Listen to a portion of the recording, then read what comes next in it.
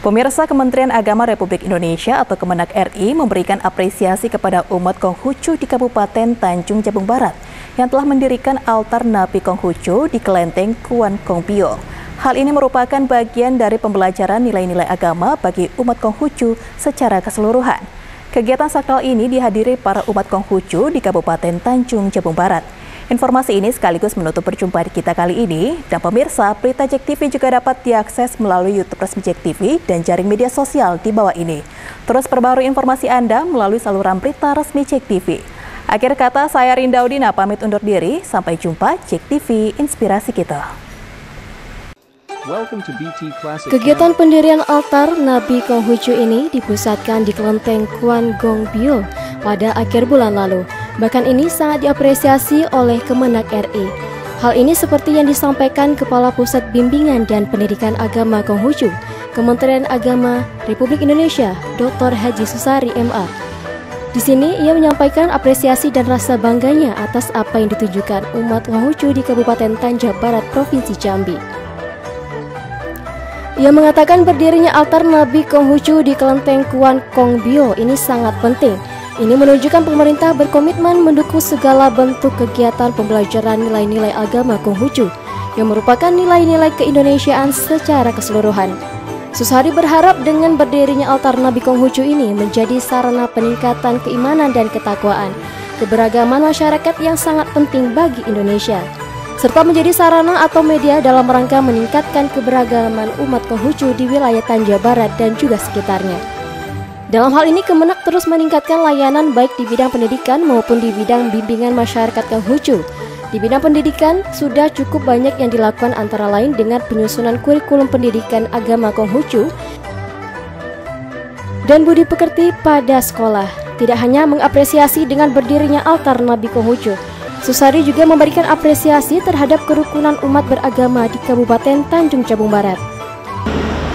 Pertama-tama kami atas nama Kementerian Agama menyampaikan apresiasi yang setinggi-tingginya kepada Makin Kuang Kong Bio yang telah menginisiasi pembangunan altar Nabi Konghucu yang tadi siang barusan diresmikan.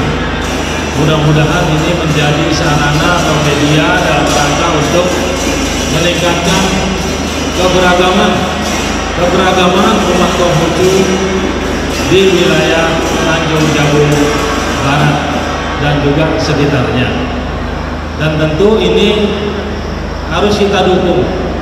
Ini juga menunjukkan bahwa pemerintah mengapresiasi dan mendukung sepenuhnya berbagai langkah yang telah dilakukan untuk meningkatkan keberagaman dan keberagaman masyarakat khususnya di wilayah Provinsi Jambi ini. Sementara Ketua Umum Majelis Tinggi Agama Konghucu Indonesia Budi Santoso Tanuwibowo mengatakan, ia mengucapkan terima kasih atas kepedulian dan dukungan dari pemerintah pusat maupun pemerintah daerah. Ia juga mengatakan pendirian altar Nabi Konghucu ini bertujuan agar umat beragama Konghucu hidup rukun saling membantu sesama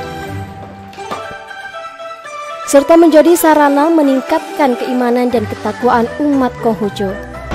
Khususnya Kabupaten Total, jajaran Kementerian Agama, mulai dari kampus bimbing serta Kementerian Agama di wilayah Jambi, atas dukungan dan bantuannya selama ini kepada umat Konghucu khususnya di Pulau Jambi.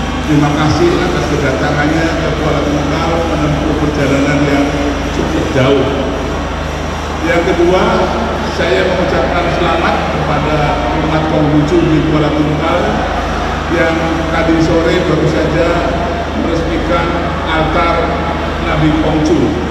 Semoga tidak sekedar menjadi simbol keberadaan, Peresmian altar Nabi Konghucu di Kelenteng Kuan Kongbio Kuala Tungkal ini turut ditandai dengan penandatanganan prasasti altar Nabi Konghucu oleh Ketua Umum Majelis Tinggi Agama Konghucu Indonesia Budi Santoso Tanuwibowo dan juga secara langsung ditandatangani oleh Kepala Pusat Bimbingan dan Pendidikan Agama Konghucu Kementerian Agama Republik Indonesia Dr. Haji Susari.